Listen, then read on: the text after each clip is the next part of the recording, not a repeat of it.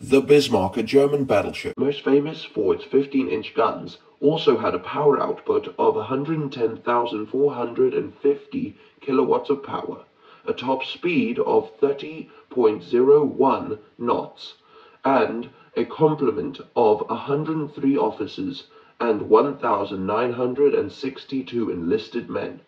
It displaced a total of 47,000 tons and had a length of 251 meters. As well as being considered, at least for a brief time, the largest battleship in the world.